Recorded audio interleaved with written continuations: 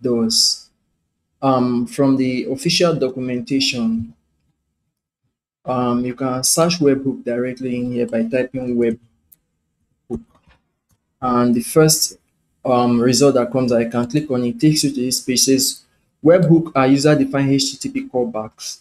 For a select doc type, you can create a webhook that trigger, triggers on specific documents event under certain conditions. Okay, um, in this um, video, I'm going to show you how to work with two webhooks, basically two webhooks. The first is the inbuilt webhooks that has to do with doc type events. And the other one is you also being able to receive um, kind of data into your system. But first, I'm going to work with this webhook. Then the important thing here is to explain webhook um, theoretically first. Okay, I have this first image from this URL. You have this kind of a screen here, a phone, and a padlock. And this second image shows something, um, a user trying to sign up for, sign into a site you have a phone for receiving information and uh, confirmation of information. Okay, let me explain this quickly. First, um, you try to register for uh, in a website. You try to register, then you fill in your username, password, and your phone number. Once you click register, the website sent you an OTP, kind of a one-time password then you feed in the OTP into the registration form or a form provided to you. And once you click that, you are you have been confirmed. Now, how does this relate to webhook? Webhook is kind of a URL where you send data upon an event um, trigger. Once an event triggers, you want data to be sent to somewhere. That is why when you sign up to the form, the location where the data should be sent to is your phone number or your email address as the case may be.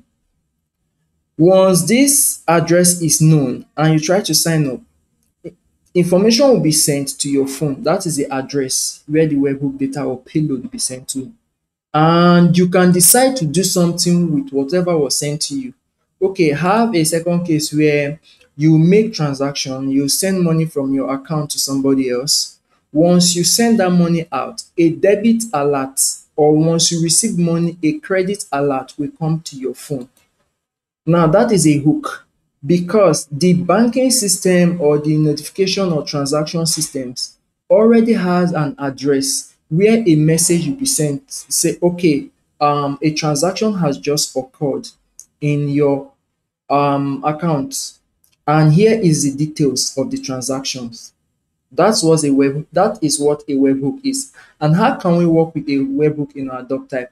Say in your doc type you inserted a document or you made an update to a document or you deleted an or document or submitted. You want an information to be sent somewhere, right?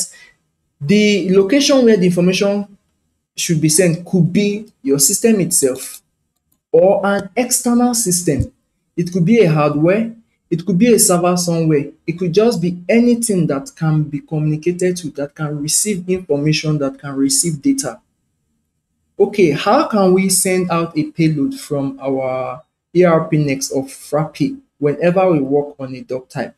Okay, you can use any doc type particularly, but I'm still going to use my estate doc type to work. Um, first, I'm going to type webhook here, webhook. And in here, you just create your webhook or just add webhook or any of this be fine.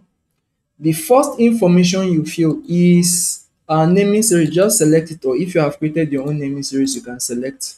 Now, which um what trigger do you want to be the starter for the webhook?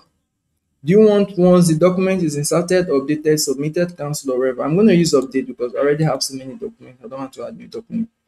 What doc type do you want this um, webhook event to occur? I'm going to use my property doc type. Can use any of your doc type. The next box is which condition. Do you have any condition in mind? If you have condition, you can put it here, but now I have no condition. I just want my code to trigger to work. Here is the request URL. This URL could be an external URL. It could be your internal URL. You just want to send something. Okay, a payment system, for example, if you use um, Stripe or some other payment system, like here we have payment system like Paystack, Flutter. Once um, a client or a customer pays to you using the platform, um, a data should be sent. You want um, some information sent to your system. It could be this ERP next system, it can be an external system. You have to provide the URL where the information should be sent. Okay, for the now, I'm going to use, um, I think I have a URL here. I, I may have to use the agent URL. Agent. I'll just use that. You can use any URL at all. You can use any URL at all. Okay. Now I'm going to use this URL. I grab the entire URL, paste it here. Meaning that once that event occurs, the data will be sent to this URL and we're going to see how it works. Okay. Um, next is what type of data do you want to send? You can send your data into format. It could be a form data. It could be a JSON data.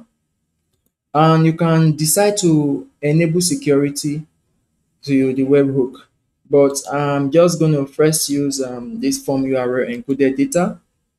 Once you click on this, you'll find these webhook headers. You can leave it as it is without changing any content, except you want to add extra header to it. Then you maybe you want to add some kind of a encryption key to it such that at the other side you can use the key to decrypt the information to be sure that it is the right um, sender that sent you the payload or, doc or data. Next, the data you want to send over to this URL, um, this URL. The data based on the doc type you selected to be based on the doc type. I selected property doc type. So once I click on this, it is the information from the doc type that will be retrieved. Um, here we list all the fields in the property doc type or in whatever doc type you have selected. Okay, I want to send the name.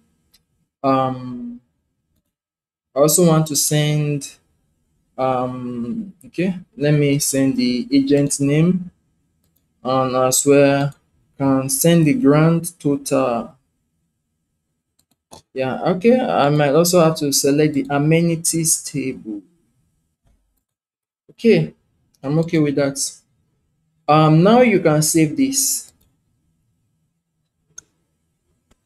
save this doc type. Okay. Um, what next you can do here is to be sure that this webhook is working perfectly.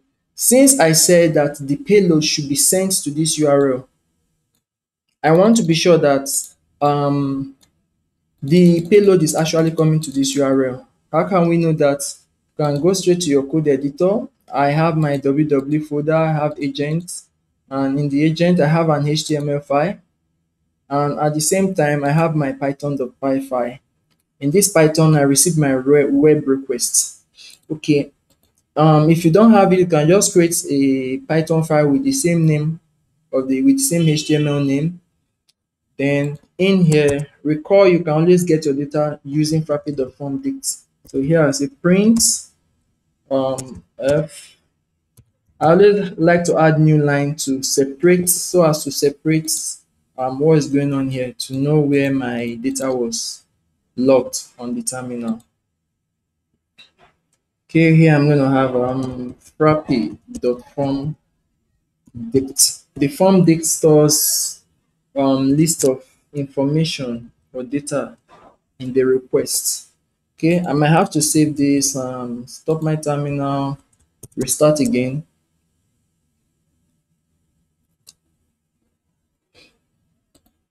Okay, we can head back and observe that we said once this document is updated, send payload and which payload should be sent.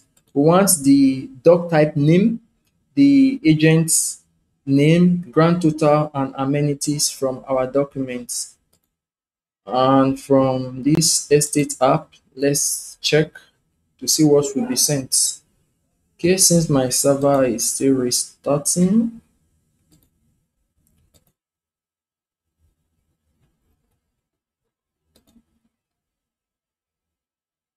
okay i want the um sorry let me check it the document name that's this uh, this here sent. Then the agent name. uh, I'm sorry, the agent name and um, grand total below here. And what else? I want the amenities present to be sent as well. Okay and that is an update. I might just have to make small changes inside here. Then save. Now this document has been saved. How do we know that this payload was sent? You can check through your terminal and you can see the payload right here and what do you see you um, see some kind of um, a JSON data sent here, more like Python dictionary. You can see the name was sent, the agent name, um, the grand total, the data, and the amenities. All the contents in the amenities will be sent. Meaning that right here in this our code, you can actually capture what is in this form dict using, let's see what was sent to us. Okay, you can capture the form dict directly using name, agent name, and what else? Okay, at least for the now, you you see how you've already seen how you can capture the form dict, um, the data. So now this is how you can send a payload directly to any URL or sorry, a webhook. A webhook is a kind of URL where you send data to based on events that occurs in the system. Now, this is you receiving, um, sending out a webhook. How about receiving a webhook? How about getting webhook into your system? Okay, um, we can also do that in another manner. Say we plugged in a payment system. Okay, I have a payment system here called um, RavePay, RavePay.com.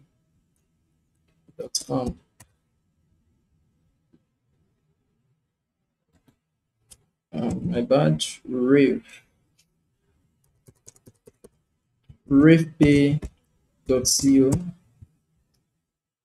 or flutterwave. Oh, okay my bad. I just have to type flutterwave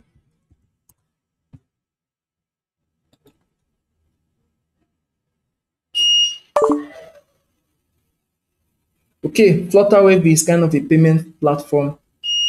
Let's say you kind of you know made payments to this server. Cannot make payment like a user pays you directly. Maybe you have just integrated this payment platform into your system and a user pays you.